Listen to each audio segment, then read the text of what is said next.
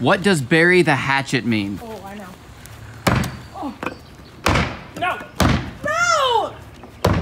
Into conflict. Come on!